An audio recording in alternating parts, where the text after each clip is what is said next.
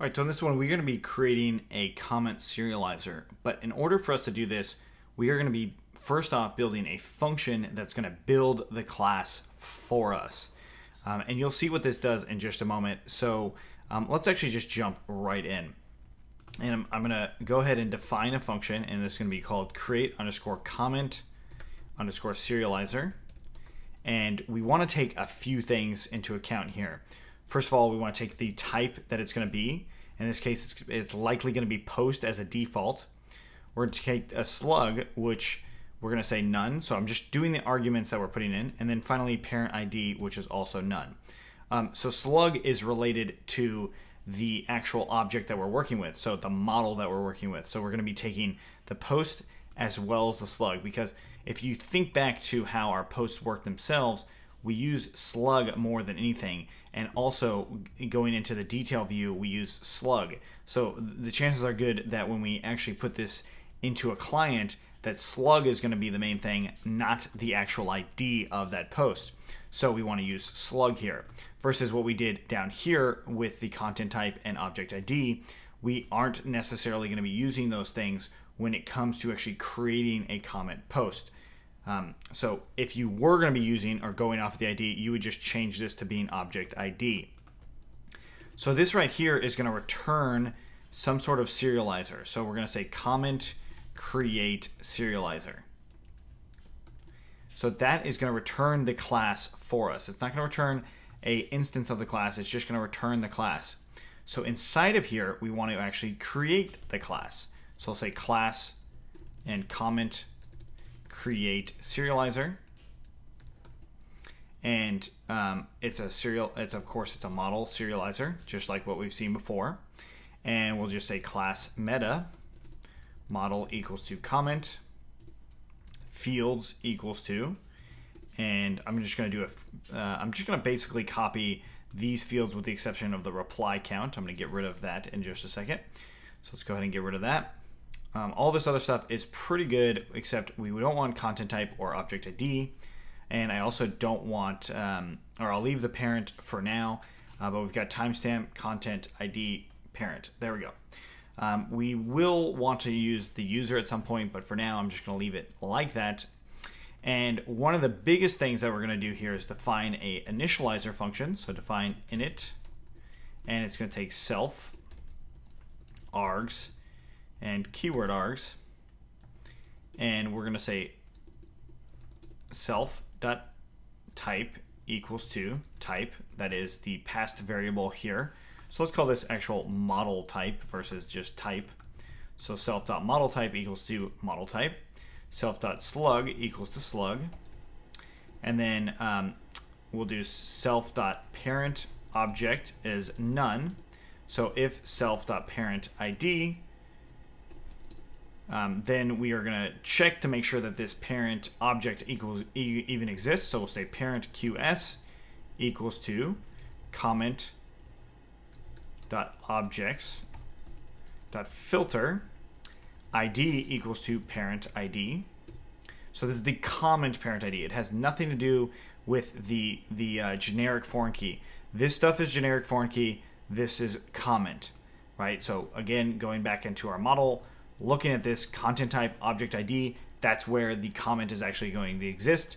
Parent is going to be the ID whether or not the parent is actually there, meaning whether or not it's actually a reply. So back into the, that serializer, um, and then we'll say if parent qs dot exists and parent qs dot count equals to one, then self dot parent object equals to parent qs dot first. Um, okay, so hopefully that stuff we don't need to explain too much, but otherwise it's basically if this is being passed, if the parent ID is being passed, we're going to check to make sure that it actually that that object actually exists, and then we're going to set it equal to that parent object. Then after we do all that, we're going to return the super call, which is super of the class itself, self, and then init so the default for initializing this args and keyword args. And there we go. So we've got that stuff. Um, so this is essentially just allowing us to set some things initially. right? And we're doing it based off of what the view is going to provide to us. That's why we're doing this. And so we can provide some initial value to the view by using this basic function. So eh, then when I go to the view, I can actually create the serializer using the model type, slug, and so on. Um, all right, cool. So now that I've got that, we are going to make another one, and it's going to call define validate, and it's going to take self and data, and we're going to say the model type model type equals to self dot model type. So notice this validation, it's coming from the init stuff. It's not coming from what's being passed into the function. So when we're initializing it, it's going off of what was initialized, not, again, not what was passed through the function. That's actually pretty important. All right, so now that we've got that, we're gonna say model QS. So the model query set is, we wanna get the content type for it. So um, content type dot objects and then we are going to filter model equals to model type. So this is just checking to make sure that the model type or the content type that we're going to be passing through here actually exists. So let's go ahead and import the content type um, model itself. So let's go ahead and copy this, bring it back into our serializers, put it above the REST framework one. Okay, so now we've got our content type. So we want to make sure, again, that that exists and it's not like mini versions of it, basically. So all I'm saying here is let's make sure that this is a post model or it's a model that we actually created inside of our project. So now we're going to say if not um, the model QS dot exists or model QS dot count is not equal to one. Then we will raise a validation error and I have to import the validation errors here. So validation error. So we're gonna raise validation error. This is not a valid content type. All right, so we've got that. Uh, so now on to the next one is actually checking that this slug or this model actually exists. So this this slug we initialized it, but now we want to check sure make sure that this slug exists inside of this model. So I'm just going to call it some model. So this is just a model variable that's testing this model itself. So model QS dot first.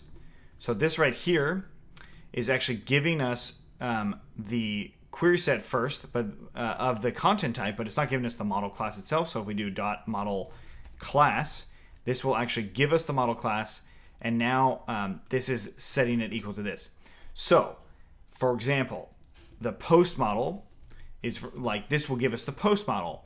But if we used it somewhere else, let's say for instance we decided that we wanted to have um, a, a, different page altogether, so we'll just say page model or something like that. Or if we wanted to have uh, products, right? It would it would give us that different model class based off of the content type. Um, that's really important. So essentially, we are importing the model without importing the model, and it's it's dynamic because it's using the content type for it, and that way we can actually get that model class here. So now we can check to see if it even exists. So we'll see if the object even exists by using some model dot filter slug equals to self dot slug. Um, so this is now checking to see if the slug is even inside of that, that model itself. This might raise an error because the slug, if the slug field is not in this random model, then this is gonna, going to fail.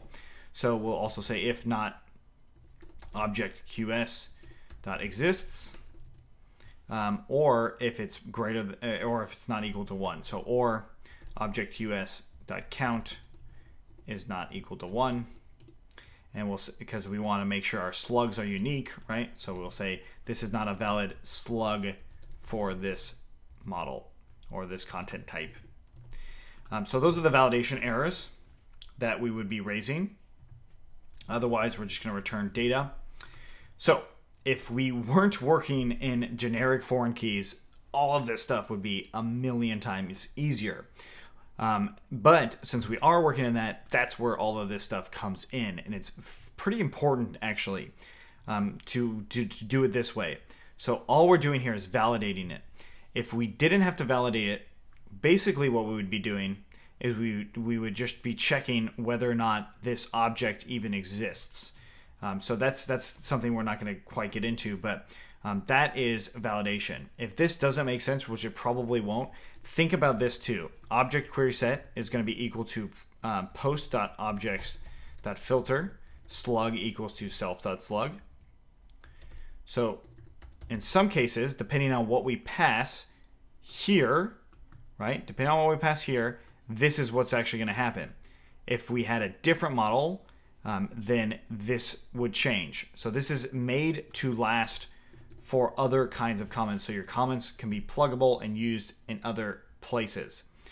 Um, all right, so now um, we are going to have to do the comment create function, but I'm going to leave this for now, uh, and we'll come back in the next one and actually do the comment create function. Um, so if you have any questions on this, let us know in the comments below. Otherwise, let's keep going.